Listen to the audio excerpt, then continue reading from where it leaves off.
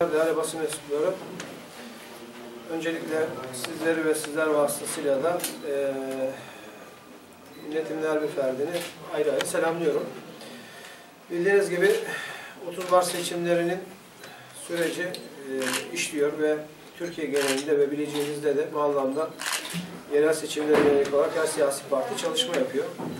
Ama e, bu seçim dönemi e, her ne kadar yerel seçim gibi e, kabul edilse de, hukuken böyle de tanımlansa da, sandıkta yerel yöneticileri oylayacak olsak da e, mahiyeti itibariyle tamamen genel seçim havasına dönüyor.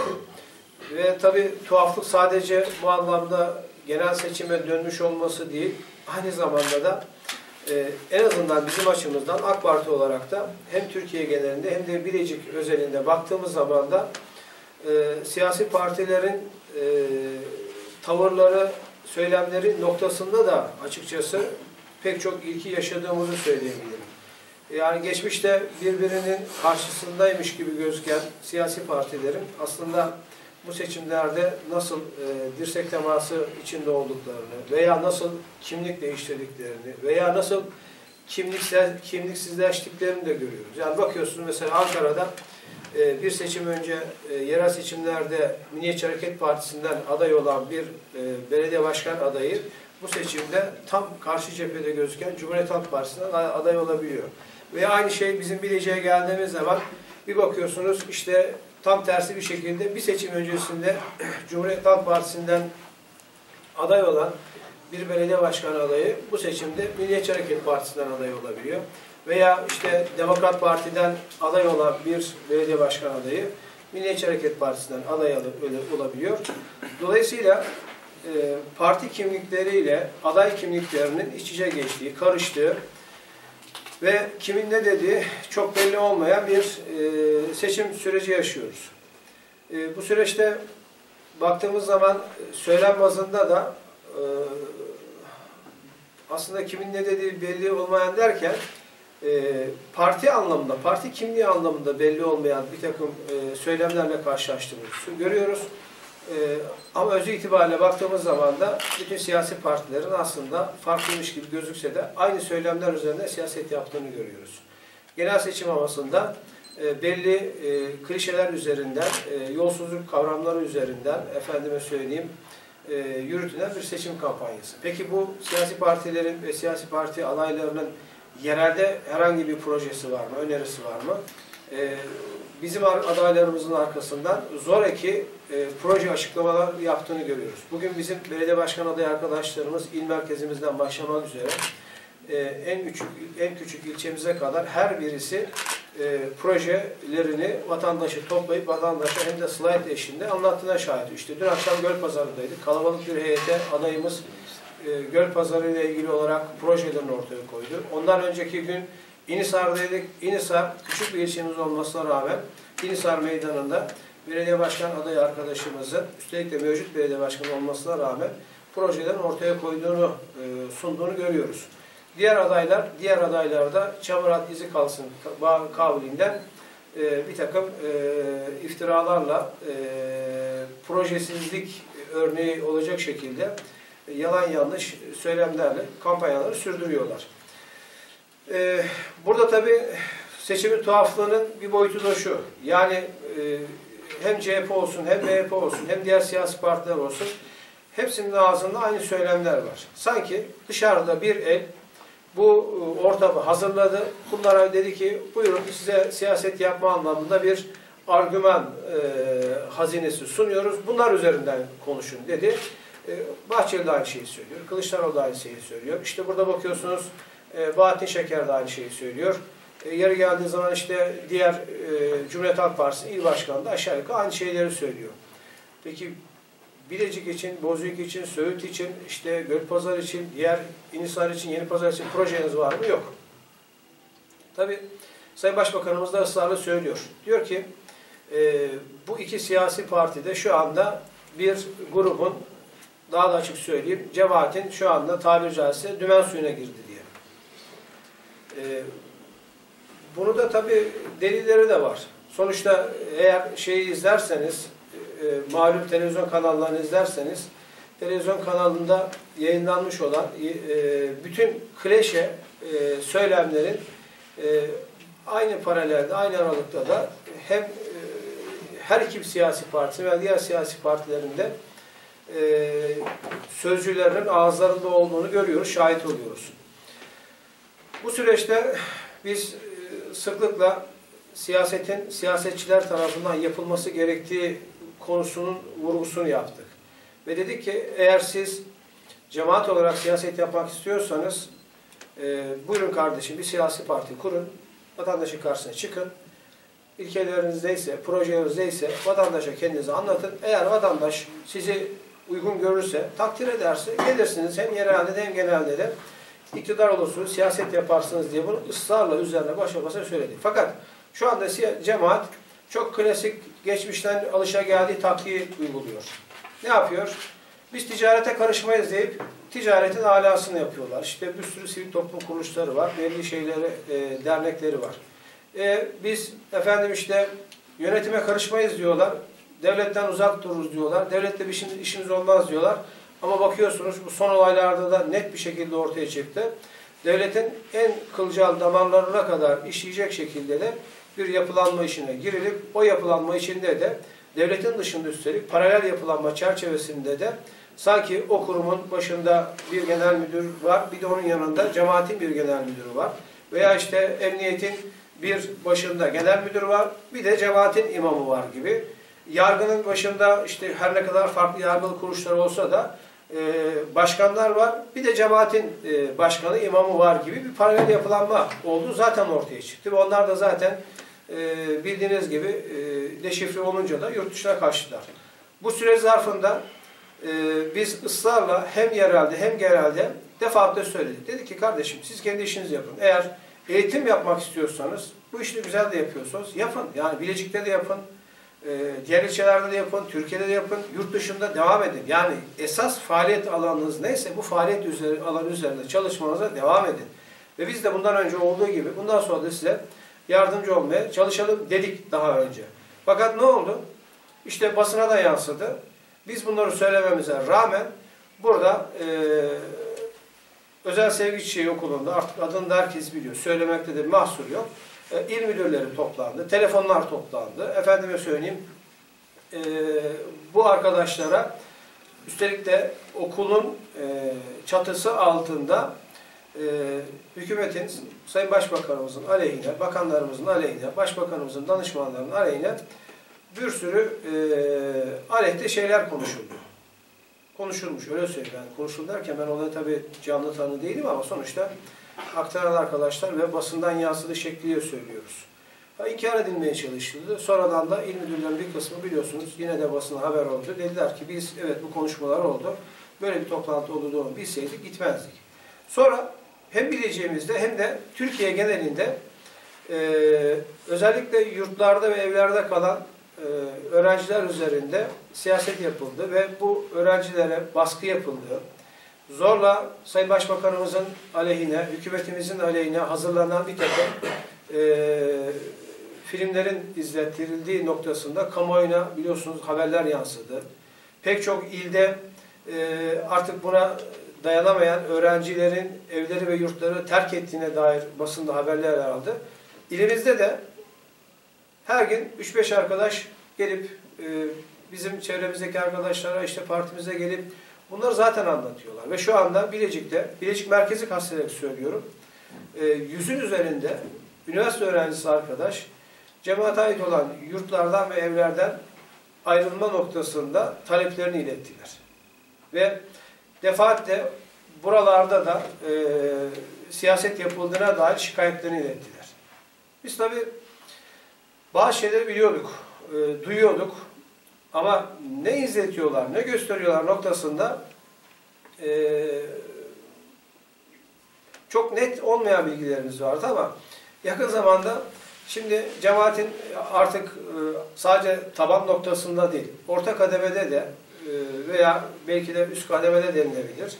Bu işten rahatsız olan, ya burada bir yanlışlık var arkadaş. Yani sonuçta biz bu memlekette e, eğitim hizmeti yapmamız gerekir. Sosyal faaliyetlerde bulunmamız gerekir. Ama e, yıllarca söylediğimiz siyasetten uzak kalmamız gerekir. Rahmetli Bediüzzaman'ın en temel ilkesi olan e, hani darbe mesele haline gelmiş olan işte siyasetten e, nasıl da şeytanın serrinden, serrinden sığındığım gibi siyasetten de sığınırım gibi bir lafı var diyorsun. O kadar böyle mesafeli dururlarken biz siyasetin göbeğine godoslama giriyoruz. Bu çok yanlış deyip artık kendi işlerinden de yönetici kademelerinde olan sorumluluk üstlenmiş arkadaşlarımız da bundan çok ciddi rahatsızlıklarını dile getirmeye başladılar. Yani sadece öğrenci kesiminden değil.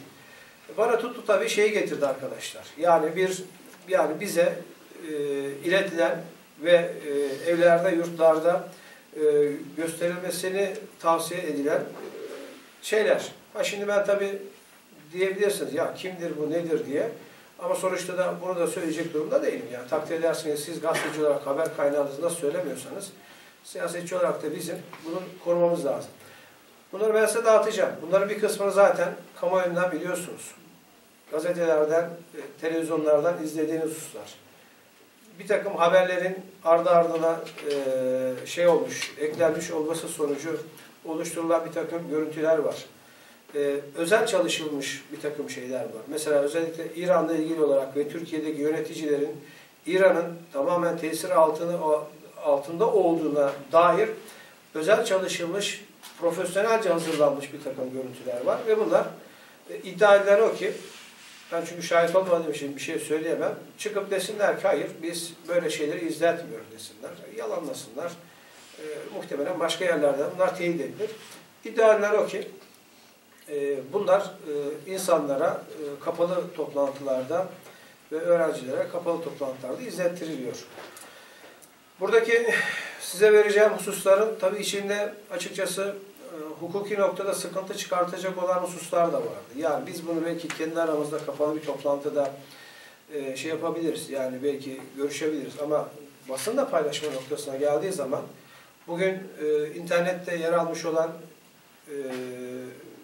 pek çoğunu işte e, tanıklık ettiniz, şahit olduğunuz o e, bir kısmının montaj olduğu ortaya çıkmış olan bir kısmının devlet güvenliğini de tehditleyecek şekilde Sayın Başbakan'ın özel konuşmalarının da içerdiği hususları zaten bütün hepsini zaten derlemiş toplamışlar ama ben tabii hukuki e, sıkıntı olmaması anlamında kişilik haklarının korunması anlamında onları çıkarttık.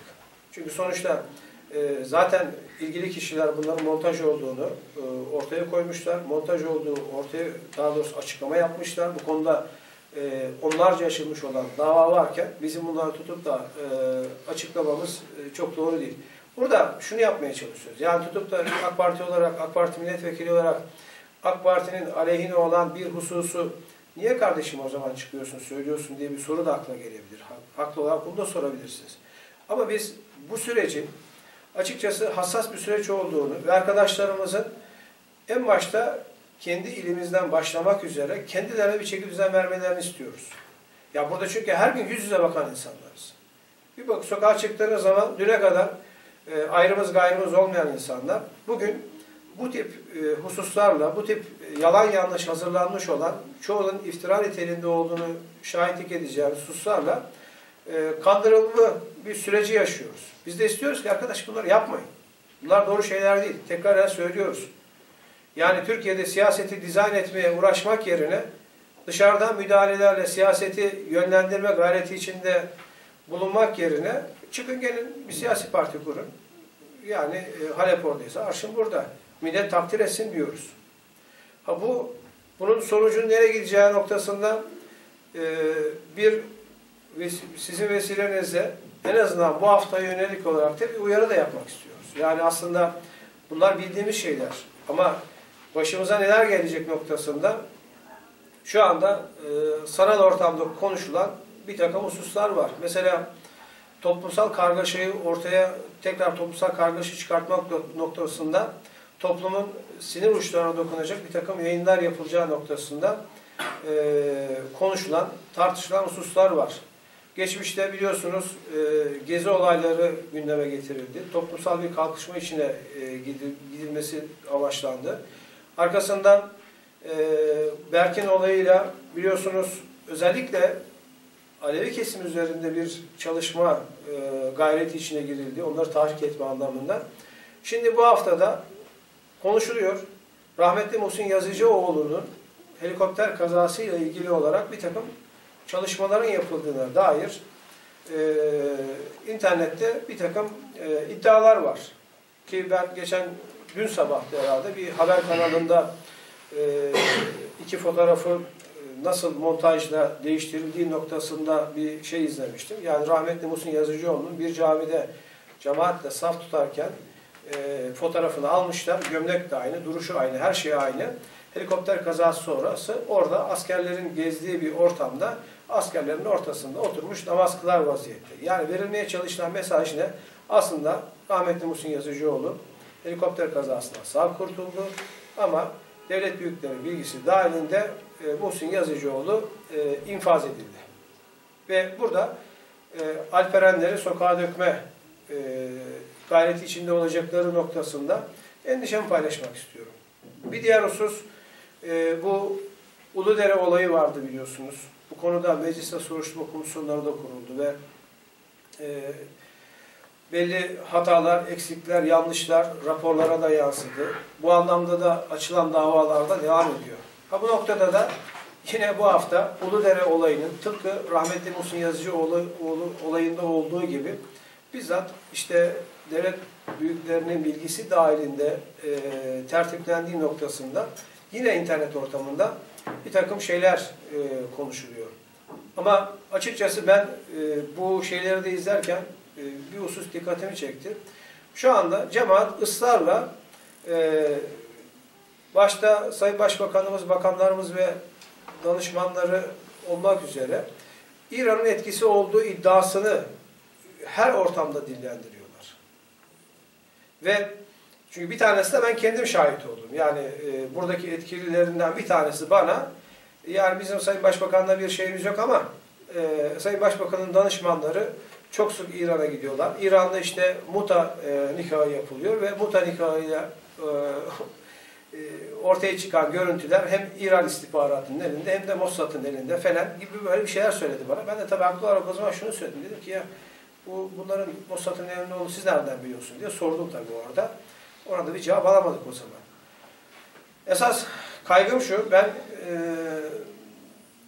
vatandaşlarımıza bu anlamda özellikle bu hafta tıpkı daha önce Devlet Bahçeli'nin, şey, özür dilerim Devlet Bahçeli, Milliyetçi Hareket Partisi'nin e, genel seçimler öncesi yaşadığı sıkıntıya benzer bir takım sıkıntılarla veya şeylerle karşılaşmamızın, görüntülerle karşılaşmamızın muhtemel olduğunu söylüyorum. Ve burada e, Allah herkesi muhafaza buyursun. Çünkü niyeti bozmuş olan insanların şerrinden e, Cenab-ı Hakk'a sığınmaktan başka yapacak bir şeyimiz yok. Şu andaki teknoloji o kadar ileri gitti ki şeyi de geçtik. Yani ses kayıtlarını da geçtik. Yani kaset ses kayıtları üretilmesini de geçtik. Şu anda her birimizin sesinin neredeyse tıpatıp aynısını üretme e, ve bunu istediğiniz metni okutma teknolojisi var zaten şu anda.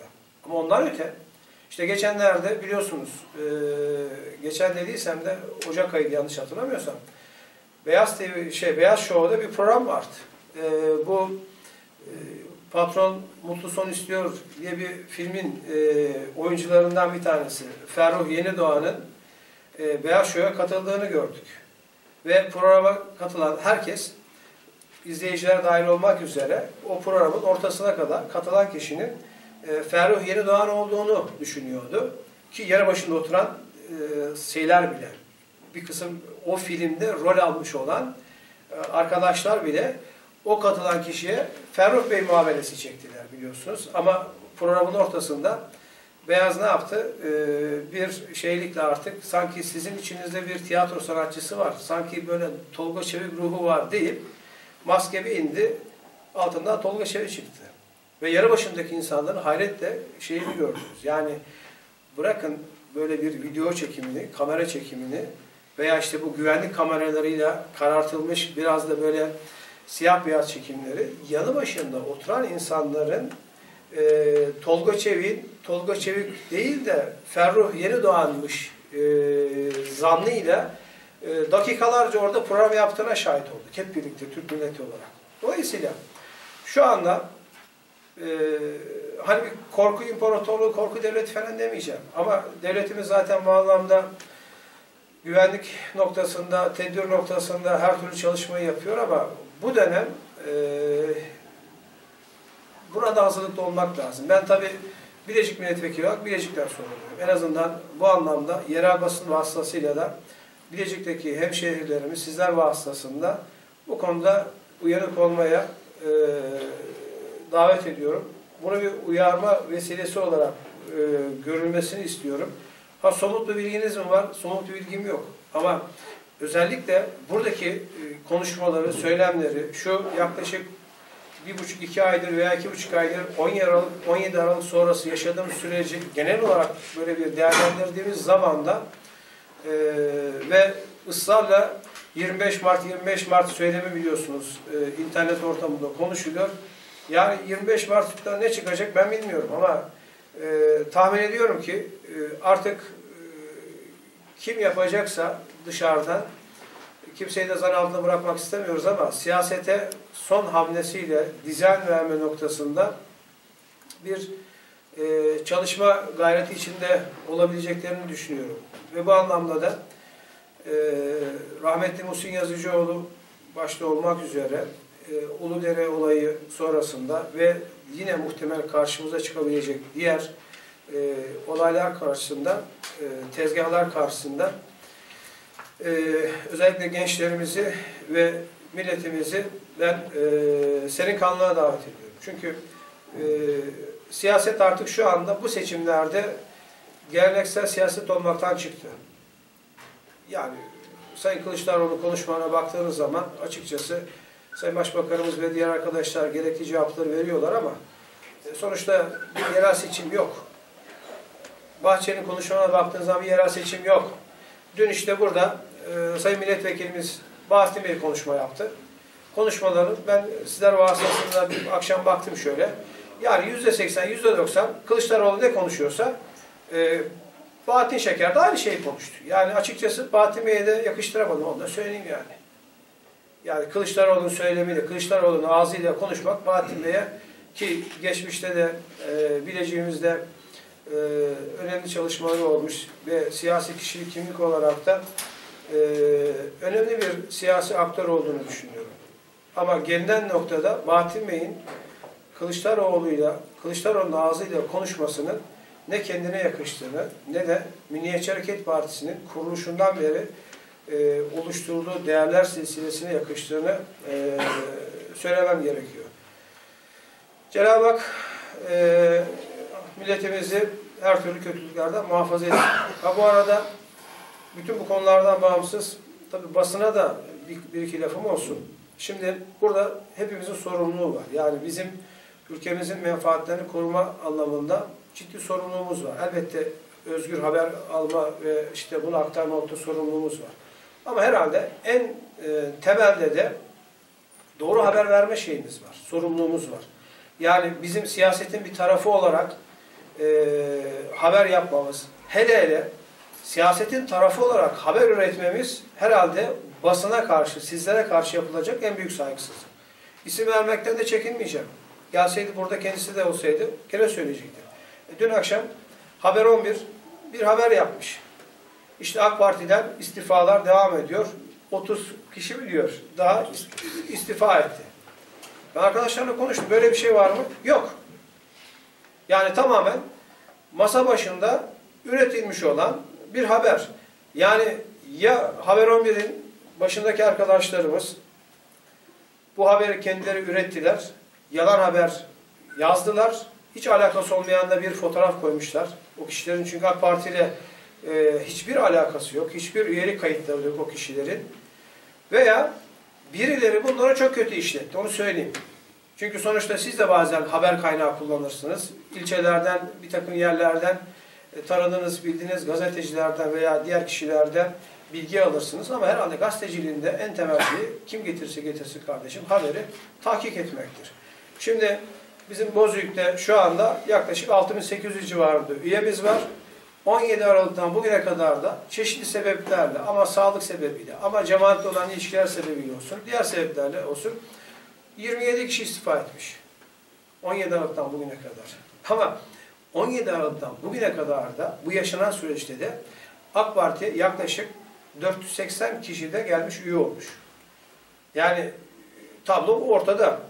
Ve şu ana kadar da Haber 11'in yaptığı bu yalan haberin dava da açabilir. Yalan haber diyorum çünkü. İstiyorsa açsın. Haber 11'in yaptığı bu yalan haberin e, karşılığı onların şeyini teyit edecek, e, haberini teyit edecek partimize de ne il başkanlığımıza ne ilçe başkanlığımıza istifa anlamında e, resmi dilekçeyle başvuran veya gelip de sözlü olarak da sizden istifa ediyorum diyen hiç kimse yok onu söyleyeyim. Yani şimdi biz haber yapacaksak herhalde e, gazeteci, gazeteci ahlakı olarak da en başta e, insaniyet anlamında bizim kendimizin bunlara uyması gerektiği kanaatindeyim. E, tabii onu da artık sizlere takdirine bırakıyorum. Sonuçta basının da kendi içinde bir otokontrol yapması lazım. E, eleştirmek istiyorsanız eleştirin, haber yapmak istiyorsanız haber yapın. Ama sizden ricamız e, kişilik haklarımızı, kurumsal haklarımızın korunması noktasında da e, en azından yanlış yapanlar içindir sözüm. E, lütfen saygı gösterin. Evet, benim söyleyeceğim bunlar. Sizin sorunuz varsa sorularınızı alabilirim. Vekilim, konuşmanızın başında da bahsettiğiniz sevgi çiçeğinde gerçekleşen toplantı ile ilgili geçtiğimiz günlerde de o toplantıya katılan il müdürlerimizden Milli Eğitim Müdürü'nün e, görev değişikliği oldu. Bu toplantıyla bir bağlantısı var mı değişikliğin? Şimdi e, böyle bir toplantı yapıldıysa İl Milli Eğitim Müdürü'nün o okulun e, denetimden sorumlu olarak buradaki en üst e, sorumlu idareci olarak bir kere e, sonradan haber olsa bile toplantı üzerine bir e, soruşturma inceleme başlatması. Haber olduğu zaman. Kaldı ki burada e, Sayın İl Müdürü'nün bizatihi kendisinin de toplantıya katılması söz konusu. Dolayısıyla e, hem denetiminiz altında olan özel okulda olsa, denetiminiz altında okulan bir olan bir e, denetiminiz altındaki okulda olan bir toplantı, böyle bir toplantı olacak. Hem bir toplantıya katılacaksınız, yani hem de göreviniz başında kalacaksınız. Ben açık söyleyeyim, yani şu ana kadar 12 yıldır milletvekiliyim. E, pek çok il müdürümüz geldi geçti. Bu anlamda il müdür arkadaşlarımızın bir kısmında Milli Eğitim anlamında söylüyorum. Sıkıntılar, problemler de yaşadık. Ama hemen hemen hiç sıkıntı, problem yapma, yaşamadığımız, gerek kişi olarak da, gerekse eee ahlak olarak, çalışkanlık olarak, gayret olarak da en rahat çalıştığımız arkadaşlarımızdan bir tanesiydi. Eee, o ilgili il müdürü arkadaşımız. Ama sonuçta da eee, bu olayın affedilecek bir yanı yok, onu söyleyeyim. Ya tamam biz Süleyman kardeşimizle yine kardeşiz. Kardeşlik hukukumuz bakidir. Ee, Kendisine bugüne kadar bileceği verdiği emeklerden, katkılardan dolayı çok teşekkür ediyoruz. Ama böyle bir toplantı yapılmışsa ve o toplantıda da il müdürü arkadaşımız mevcutsa ve çıkıp da orada eğer siz e, bu okul çatısı altında burası özel okulda olsa e, diğer devlet okullarından, resmi okullarından farkı yoktur. Burası bir ilköğretim okuludur. İlk öğretimin çatısı altında siz siyaset yapamazsınız. İlk öğretimin çatısı altında siz devlet büyüklerine ulu orta e, iftira atamazsınız. Bunlar yanlış şeylerdir demiyorsa orada bir yanlışlık var. Bilmem anlatabildim mi? Teşekkür ederim. Evet. Var mı başka arkadaşlar? Bu şeyleri ben size vereyim.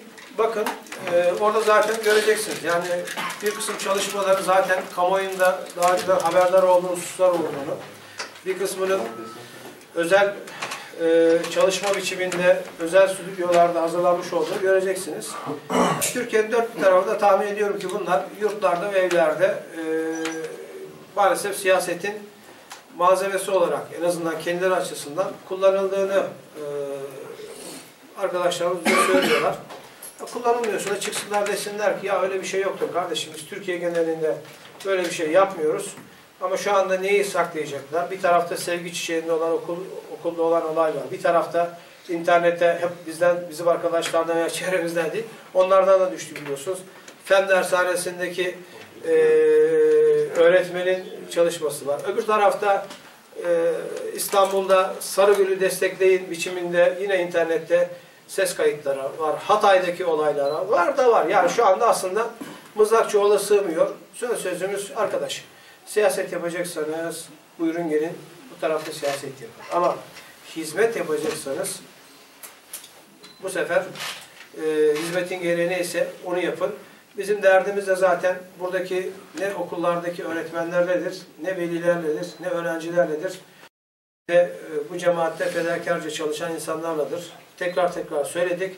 Bizim derdimiz bu anlamda ülkeye zarar verme noktasına gelen, ülkenin milli güvenliğini tehdit noktasına gelen, devleti olmak veya olmamak noktasında otorite zafiyetine, sıkıntısına sokacak şekilde paralel yapılanma biçiminde ortaya çıkan bu yapıdır. Herkes hukuk neyse, anayasa neyse onu uyacak. Evet, teşekkür ederim arkadaşlar.